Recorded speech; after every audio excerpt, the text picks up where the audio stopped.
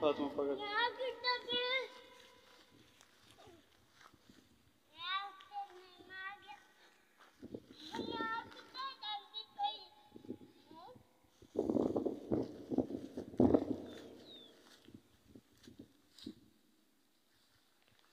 ये तितली गई यार। पकड़ना है।